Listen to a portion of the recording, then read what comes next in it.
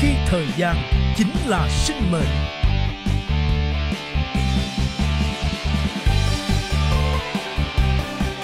Trách nhiệm nặng nề, tâm thế luôn sẵn sàng.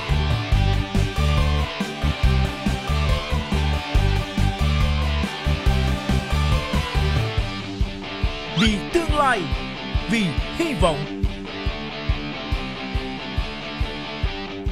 mỗi ngày, mỗi giờ, họ đều luôn chiến đấu.